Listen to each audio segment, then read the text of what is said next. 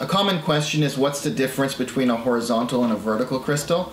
So just wanted to take a moment to explain that to you. In this photo you'll notice that it was sent in landscape format, yet the subjects are more vertical, especially when we cut the background out. So what the designers decided to do was take this image and although it came in landscape format, uh, they actually laser etched that into a crystal in vertical format. However, it's the same crystal, so really it depends on what's going to work best for the photo that you provide. If it would have looked better in horizontal format, we would have simply just laser etched it sideways like this, such as this image here that looks optimal done in landscape format. So again, it's the same crystal, vertical or horizontal. Um, you know, you just have to pretty much decide whether you want 2D or 3D and the size of the crystal that you'd like to get.